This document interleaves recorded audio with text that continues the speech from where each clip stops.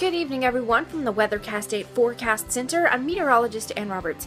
You can expect some showers and maybe even a scattered thunderstorm to push through the state tonight as we currently have a cold front making its way towards the state. Now, we're not looking at anything widespread. As of this moment, there are some scattered showers in portions of northern Arkansas, and that will increase going into central Arkansas and southern portions of the state as we continue throughout the overnight hours. Now, again, one or two of those storms could get on the strong side, but we're not expecting anything in terms of severe weather. Temperatures right now are fairly mild. We're seeing 69 here in East End. Temperatures will not fall off much tonight due to that rain and cloud cover. We'll see overnight lows in the 60s.